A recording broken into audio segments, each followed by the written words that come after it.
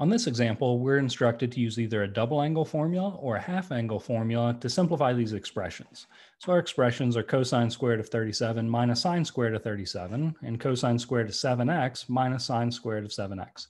So down below, you'll notice that I've gone ahead and I've listed out um, our double angle formulas on the left-hand side and our half angle formulas on the right-hand side.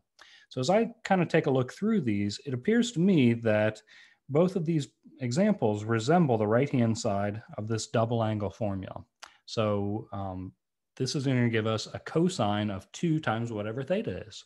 So in our case, on this first example, we can say that, well, it's cosine squared of 37 degrees. The 37 degrees is occupying the same spot as this theta. It's also occupying the same one as this theta. So our formula tells us we can simply go with 2 times whatever's in theta's spot. So this will be 2 multiplied by 37 degrees, which will reduce down, we can say is cosine of 2 times 37 is 74 degrees.